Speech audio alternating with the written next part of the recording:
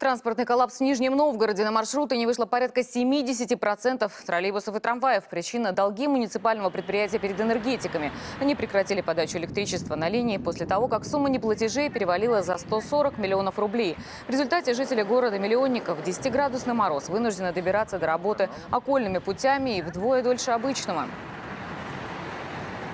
Я на троллейбусе езжу часто, на 14-м. Сейчас вот не знаю как. И на работу не знаю, как буду ездить. Без трамвая мне придется сейчас два, на двух автобусах ехать. По деньгам, понимаете, что в два раза дороже получается. В Нижегородском департаменте транспорта и связи заявляют, что стараются разрешить кризисную ситуацию как можно скорее, а пока на усиленный режим работы переведены автобусные парки и метро. Впрочем, автобусы в ближайшее время тоже могут встать. Поставщик топлива объявил, что прекращает заправлять общественный транспорт также из-за накопившихся долгов города.